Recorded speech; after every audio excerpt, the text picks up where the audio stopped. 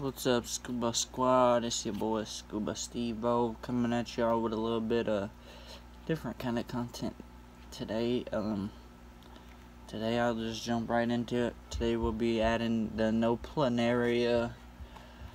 Um, what do you call it? Just a no planaria dip concentrate for the shrimp. So I watched uh, Grant's video, and what he did was he just took his plants or whatever and dipped them separately. So instead of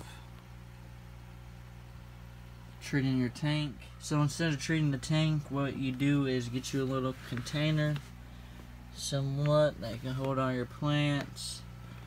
And I got a little fern and some some kind of moss and some I think the other it's like two mosses together like the subwassertang moss there. You can kind of see it now. And you got the regular like type moss. So anyways let's get into it. So from what I got from his video from uh, the Garden of Eater Grant He's my shrimp guru.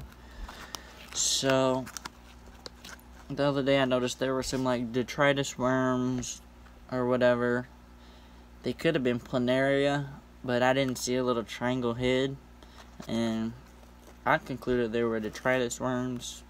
And Google said that detritus worms are not harmful to shrimp, but scuds and planaria are. So, this remedy should help with I think he said snails and the scuds, I believe. I'm not 100% sure on if it helps with the scuds.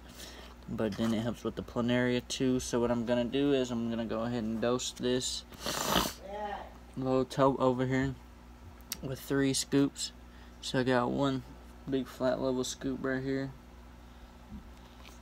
And then we'll add a second and try to sprinkle this all over just to get it spread out a little.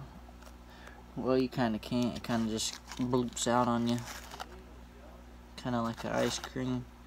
So I did kind of like three heavy scoops. So about all three of my scoops looked about like this.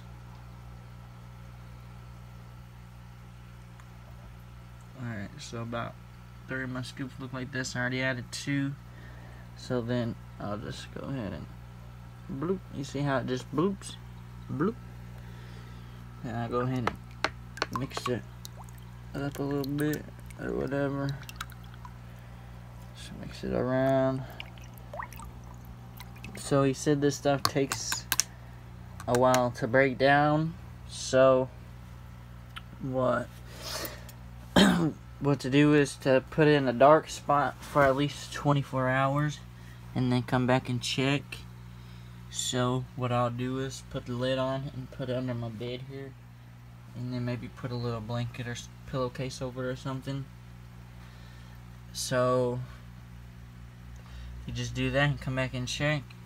And then if you see any worms, just let it go for another day or two of soaking and then wash it off with tap water and add it to your tank. So we'll come back um, and finish this video up in a couple days. We'll come back tomorrow and see what it looks like in here.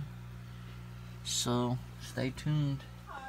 Alright guys, so we're back with the No Planaria update. So I went ahead and instead of treating it just for the one night for the overdose treatment. I went ahead and left it in here for the whole weekend and I forgot about it. So actually this is this is the Monday after. So I'm scanning and I'm looking. I don't really even see anything. But better safe than sorry, right? Eh? Eh? Hey? So, alright. What we're gonna do is take this downstairs. So I'm in here in the bathroom. What I'm gonna do is I'm just gonna take the lid off here. Set it to the side. Then I'm just gonna drain the water slowly and try not to pour the plants out of here like that. So maybe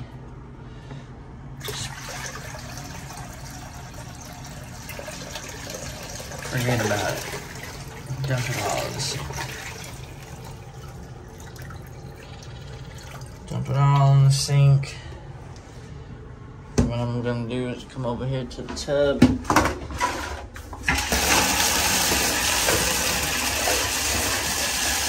Just rinse this out. Rinse it. Good little, you know, rinse it. Uh, fill this back up. It's fresh water. Not too hot. Not too hot.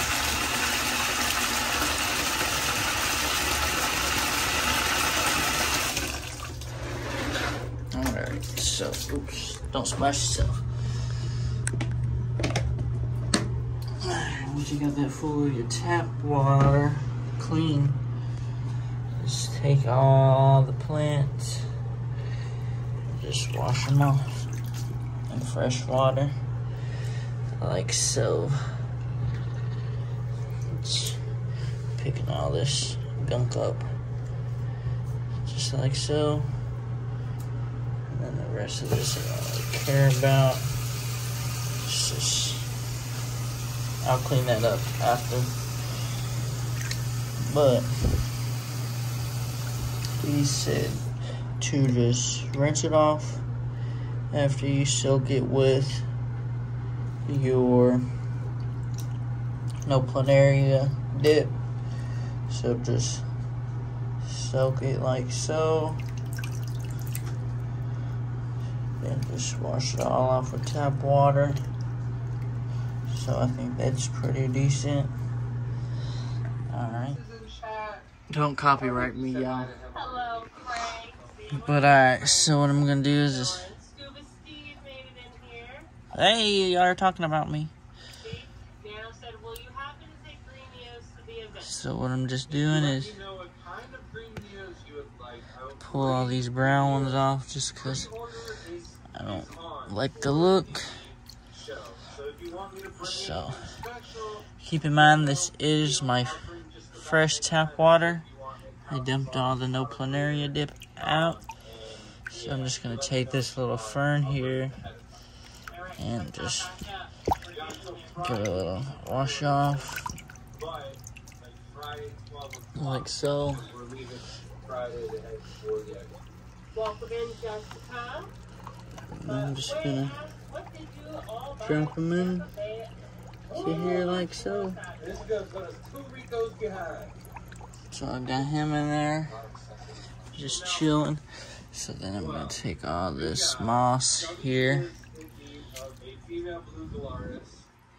It's all kind of brown and got all this gunk on it. We got any other Achilles. Uh, we did keep one that all black male angelfish. I brought home a bag of eight angelfish. Them trying to get this little leaf off right there. So I just got my handful of moss. Listen, And then them. just gonna throw it in there like that. I'm trying to go ahead and scrunch up a little bit more.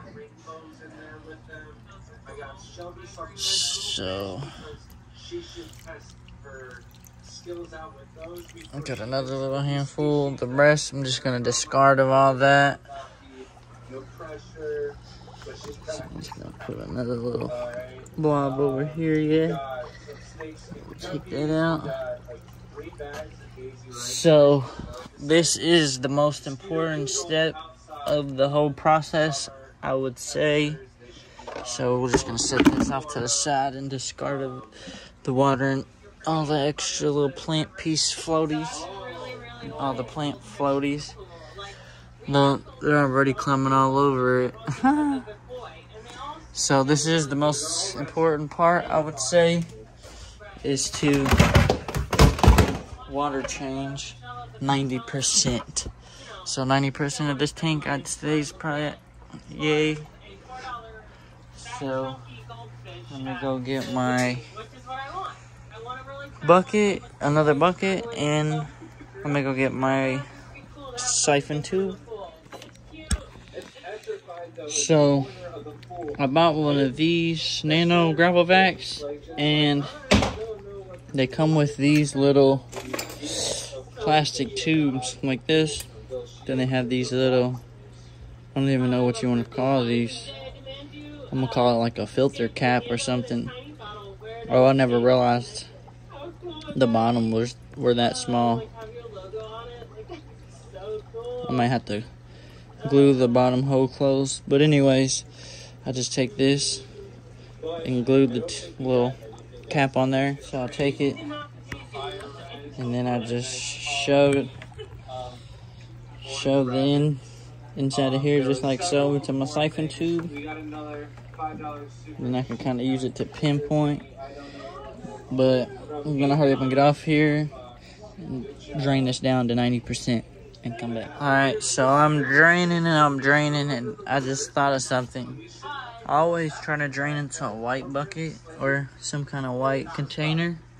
So that way you'll be able to shine your light or whatever. Mm. you'll be able to see if you sucked up any shrimp or fish. Alright, so I'd say it's about 90% or whatnot. And I tote and shine my light on my phone or flashlight, whatever, and take a quick look just to make sure I didn't suck anybody up. So it looks good. So we'll dump, get rid of this.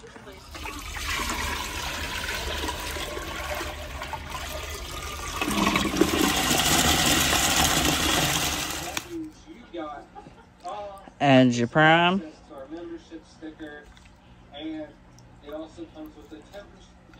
Let's do a few little drops from a five gallon bucket here. So, let's get this thing full. Got these plants in here. And I did my 90% water change and added my prime. So now, it's really just time to let everything settle. It's just time to let it settle. And we'll see if everybody's still alive tomorrow. And we'll give you an update. Stay tuned.